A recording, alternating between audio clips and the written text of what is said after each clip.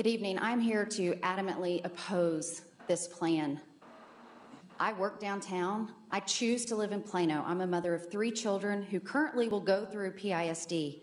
I'm the daughter of public educators up and down both sides, and I know what this is going to do to our education system. The reason me and many of us moved here is because we want to give our children the opportunity for an excellent education. What I did not see in the plan is any additional zoning for schools. We are landlocked on many of our schools. Do we want portables? The state of Texas and the guidelines put a maximum amount of the number of children that can be in a school, in a public school. So either our children go to private school or we start to pull in portables. And then our education is to the lowest common denominator.